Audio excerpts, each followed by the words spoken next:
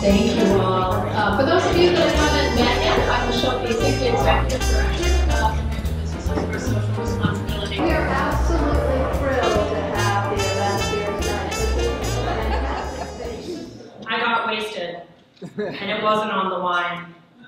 My life as a carer on the campus of Keene State College began 75 days ago. I was then just a mere embryonic plant ready to sprout and find my purpose. I began to realize that I was very important when I was plucked from my warm earthly home. After being cleaned and glared at by people in obvious awe of my perfection, I was ready to hit the road. I met a diverse group of perishables at the warehouse. We had our fun, but was selected to make my culinary debut at Keene State College. It's very exciting here with all the chopping, dicing, slicing, sauteing, steaming, and blanching, all so that I can be part of soups, stir fries, salads, sandwiches, and other masterful culinary creations. I am vegan, I am gluten-free, I am nourishment, therefore I am powerful. I will fuel the minds of our students and the muscles of our athletes. Some will place me neatly on their plate only to toss me in the trash. My soul has died. But what about the rest of me? My head, my feet, my appeal. These parts of me will live on in the gardens, the grass, the shrubs, and trees at Keene State College. As you walk down the center of campus on Appian Way and see a beautiful lilac bush or a row of tulips, you may wonder, is that a carrot?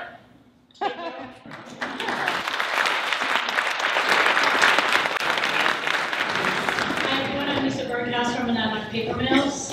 Um, I'd like to think we're kind of the model for sustainability. 97 years. And for a paper mill in, this, uh, in today's day and age is, is quite an accomplishment. I'm not sure how many of you know the family that owns our paper mill, the Verney family. Um, they're committed to their workers, they're committed to their community, they're committed to their customers. And um, we accept the fact that uh, manufacturing, especially paper making, is a, is a um, resource intensive uh, operation. Uh, we significantly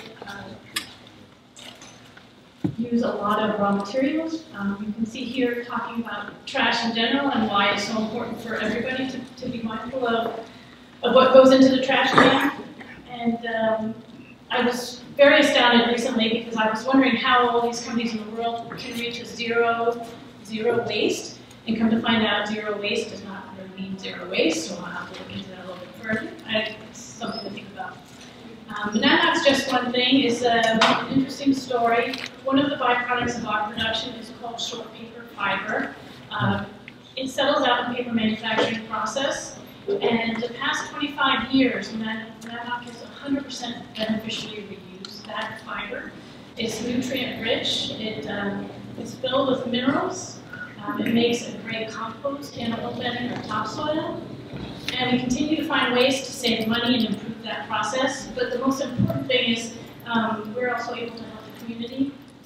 Uh, in 2005, there was a terrible flood in Boston, New Hampshire, and the Wilson family lost their farm, and we were, uh, we were able to help them with the Executive Council of New Hampshire and private companies in order to recoup that farm with 61,000 cubic yards of soil.